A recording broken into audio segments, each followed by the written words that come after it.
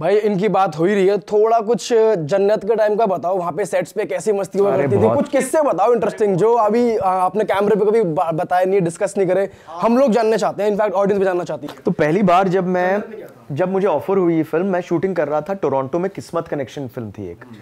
शायद देखी होगी आपने। तो वो फ़िल्म की शूटिंग रैप अप हो रही थी और मुझे फ़ोन आया बम्बई से कि हम मुकेश भट्ट और महेश भट्ट के यहाँ से बात कर रहे हैं।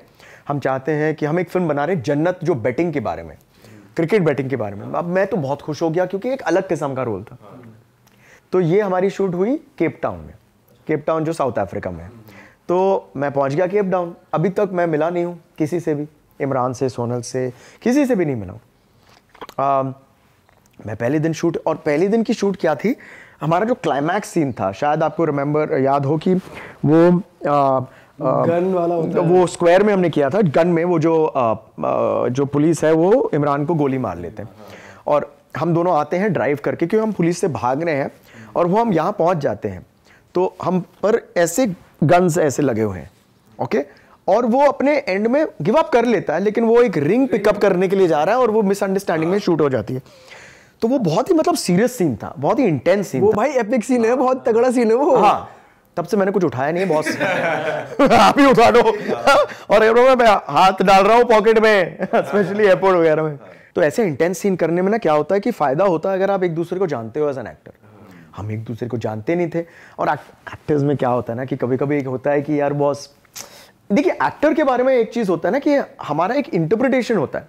जैसे जब आप मुझसे नहीं मिले थे तो आपने मुझे जो टीवी में देखा था फ़िल्म में देखा था सालों से वो तो सोच इम्पैक्ट तो होता है ना।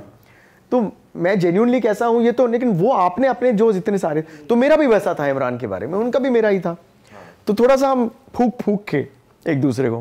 हेलो या लेट्स रीड द स्क्रिप्ट या ओके अच्छा ओके ये करना है अच्छा ओके ओके तो ये अच्छा सब ओके ओके एक दूसरे को देख रहे हैं। तो पहला जो हमने किया इतना गंदा शॉट दिया माय गॉड डायरेक्टर उठ के मतलब पागल हो गया था।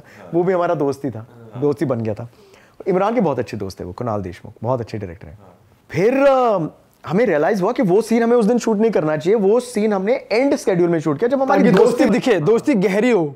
तो उस रात हमने डिसाइड किया कि यार लेट्स गो गेट ड्रिंक किया एक आइस ब्रेक कर लेते हैं। Let's go get drink have a couple of beers या जो भी पीना है विस्की वगैरह। बैठते हैं बात करते हैं। इंजॉय करते। उस टाइम आप पीते थे?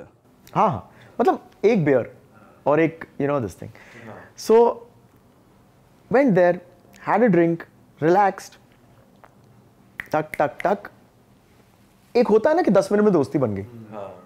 और वो दोस्ती आज तक नहीं टूटी है। अ लवली गाय यार। मैं आपको एक चीज़ बताऊँ दिल से एक यू नो लोग उन्हें सीरियल किसर वगैरह कहते हैं और उसका हम कितना मज़ाक उड़ाते हैं। हाँ, कुछ बताओ ना यार कुछ किस्सा बताओ ना अरे खुद अरे खुद करते हैं वो। बहुत अच्छे इंसान है मतलब बहुत ये नहीं है।